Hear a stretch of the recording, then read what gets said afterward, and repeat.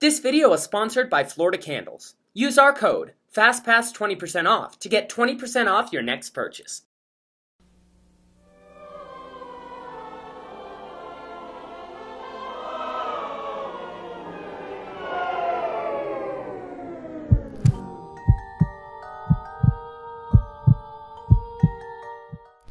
We already talked about some of the islands and buildings that Disney abandoned, but there are still many more remnants of attractions, rides, and buildings hiding in plain sight nowadays. So again, let's take a look at five more things abandoned by Disney. Disney Quest, Walt Disney World. Hello, I'm Michael Eisner, and tonight I'm taking a jungle cruise. Actually, it's the virtual jungle cruise at Disney Quest, the world's first indoor interactive theme park.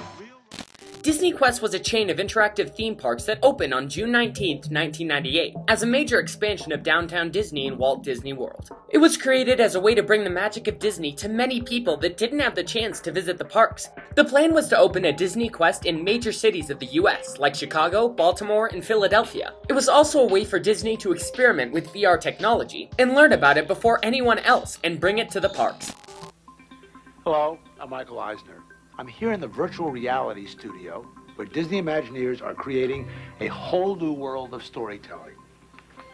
Tiny TV screens inside this headset actually allow you to step into the world of Aladdin on a magic carpet ride. It's called virtual because it's a world which only exists inside a computer. Reality because unlike film or television, you see not just what's on the screen, but what's above, around, and behind you. And you control when you return to the real world. I wonder where the exit is.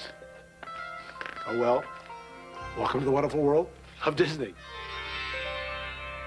Disney Quest was a five floor building full of VR interactive attractions. Some of them were loosely based on real life Disney Parks attractions and arcade games. It had a Pirates of the Caribbean attraction that was more like a battle game, a Jungle Cruise attraction that took us back to the prehistoric era to see some dinosaurs, a Buzz Lightyear's Astro Blaster attraction, which was a combination of bumper cars and a shooting game. There was also a Cyberspace Mountain attraction, where guests could create a roller coaster and then ride it using advanced motion simulators. Aladdin's Magic Carpet Ride, where guests could ride the magic carpet through Agrabah, collecting gems to find the genie, and many, many more attractions. Disney Quest was a success, and so, on June 16, 1999, a second Disney Quest opened in Chicago.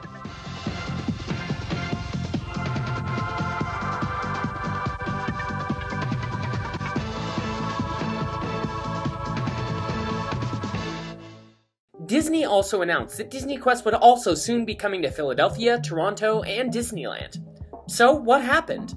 Well, Chicago's Disney Quest was not as successful as Disney would have wanted. People were not so happy with paying an entry fee to an arcade that was somewhat focused for a younger audience. There wasn't enough tourism for the place to succeed either. So, due to low attendance, it closed permanently on September 4th, 2001.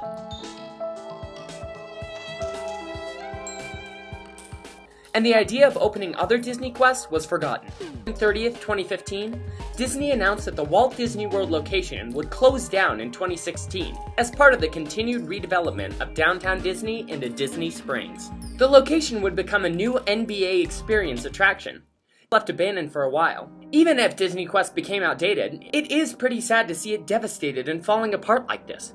What once was a place full of people running around, playing, drawing, having fun, became a dark, sad, and broken place. After a while, the building was demolished, and all traces of Disney Quest disappeared. The People Mover and Rocket Rods, Disneyland. The first People Mover installation is already in daily operation at Disneyland. On peak days, it carries nearly 40,000 passengers. The People Mover was, and still is, one of guests' favorite attractions, even years after it closed down. After all, it was a perfect example of how Walt loved to innovate and come up with new ideas. I believe we can build a community that more people will talk about and come to look at than any other area in the world. Disneyland introduced the People Mover in 1967. This D-ticket attraction gave guests a scenic 16-minute tour all around Tomorrowland, starting at Tomorrowland's entrance. Going into the Adventure Through Inner Space building, past the shoppers in the character shop, then going in and out of the Carousel Theater, near the Submarine Lagoon, through the waiting area of the Circarama Theater, and, as of the late 70s, inside of Space Mountain. One of the coolest parts of the People Mover was that the little blue, red, and yellow cars weren't motorized themselves. Instead, the tracks were motorized. Power is supplied from a series of motors embedded in the track, completely independent of the cars. Sadly, in 1995, the People Mover was replaced by rocket rods. Imagineers took the People Mover and tried to change it into a new thrill ride that promised to complete in 3 minutes the course that took the People Mover 16 minutes. What did you think of the rocket rods? And uh, this is pure excitement. I want to do it again.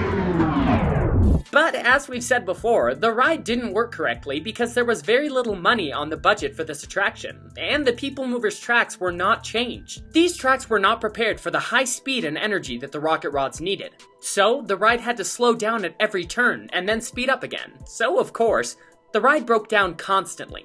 It was also closed down and opened many times for refurbishment until September 25, 2000, when it closed down for the last time and didn't open again. After the rocket rods closed down, everyone wondered what would happen to the tracks. The answer was nothing. The tracks would remain intact. We can still see them all around Tomorrowland, going in and out of the buildings. Many people want the People Mover back, but there are many reasons why this can't happen. So why are the tracks still there? Well, one of the reasons is that it would be very expensive to remove the tracks, and Tomorrowland would have to be closed for a long time. So maybe, when and if Tomorrowland gets a complete overhaul, Disney might remove the tracks. Mine Train Through Nature's Wonderland. Formerly known as Rainbow Caverns Mine Train, from 1956 to 1959, Mine Train Through Nature's Wonderland opened on May 28, 1960. This attraction featured a train that took guests through Bear Country, Beaver Valley, the Living Desert, and Rainbow Caverns, where you could see mighty waterfalls cascading off Cascade Peak, beavers building a dam, brown bears swimming and resting, cacti resembling humans, balancing rocks, the devil's paint pots, which were bubbling pots of mud in all kind of colors, geysers shooting water high into the desert air, and the famous colorful, glowing waterfalls inside Rainbow Caverns. This train's loading platform was in the western mining town of Rainbow Ridge, and it had 204 animated animals in their natural habitat. This attraction was amazing, but sadly, due to the growing popularity of thrill rides, Nature's Wonderland was closed to build a new awesome attraction, Big Thunder Mountain Railroad, which opened in 1979. But not all was gone, because Big Thunder Mountain Railroad is actually pretty similar to Nature's Wonderland, reusing the Rainbow Ridge town as a loading area, having a tribute to the Rainbow Caverns, and of course, having a runaway train as a ride vehicle. After the ride was closed, many elements of it remained.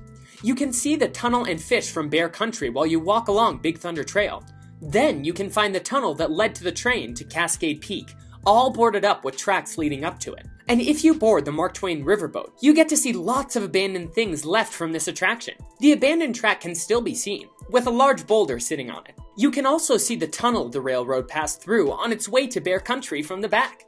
And what's left of Cascade Peak, which was removed in 1998 due to instability. And up until 2010, guests could see an old engine and two carts that used to be part of the attraction. But in 2010, Disney Imagineers decided to remove the engine and cars and place the boulders we can see now. The Skyway, Disneyland. The Disneyland Skyway opened in June 1956 as two attractions the Skyway to Tomorrowland and the Skyway to Fantasyland. This attraction took riders back and forth between Fantasyland and Tomorrowland.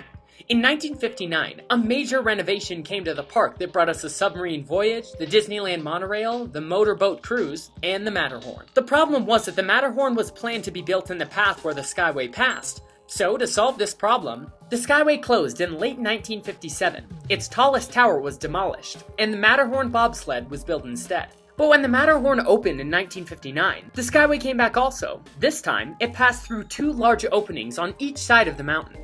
The Matterhorn also served as the center support tower for the cables. The Skyway continued being one of guests' favorite methods of transportation in Disneyland until 1994, when it was announced that it would close after 38 years. Officials to shut down the Skyway gondolas. After 38 years and millions of passengers, the Alpine theme ride is closing on Wednesday. Why would Disney close such a popular attraction? Well, there's a myth that says the ride closed because a guest died when he fell off the gondola. But that's not true. On April 17, 1994, a 30 year old man supposedly fell 20 feet from one of the Skyway cabins and landed in a tree near the Alice in Wonderland attraction. He didn't die, but he was treated for minor injuries and released. He actually filed a lawsuit against Disney, but before it went to trial, the lawsuit was dismissed when it was discovered that the guest jumped from the gondola instead of falling. The real reason for its closure was attributed to metal fatigue. Stress cracks had developed inside the Matterhorn Tower battery supports, and the only way to do maintenance was to open up the Matterhorn to do work on it. So, the holes in the Matterhorn were partially filled in, and the Skyway's cable and supports were dismantled within weeks. The Tomorrowland Skyway Station was also removed soon after the Skyway's closure, but the Fantasyland Skyway Station remained intact. The sidewalks up to the station were simply chained off from guests, and the chalet remained empty. This area was supposed to be turned into a dining area attached to the nearby Village Haus restaurant, but years passed and the forest started to take over the area, and the chalet remained like that for more than 20 years until 2015 when Bob Iger announced the 14 acre Star Wars themed land would be coming to Disneyland. The space where the chalet was located was needed, and so, on May 11, 2016, the city of Anaheim issued a permit for the demolition of 5,132 square feet for the Skyway building. And now all that remains of the Skyway are lost, except for the stairs that were used to get to the Tomorrowland station. What do you guys think? Any other abandoned places you would like us to talk about? Let us know in the comments. Before we end the video, we would like to remind you that this video is being sponsored by Florida Candles. Go check out their page, and don't forget to use our code to get 20% off your entire purchase. They've got some delicious theme park smells. Thank you so much, and see you next time.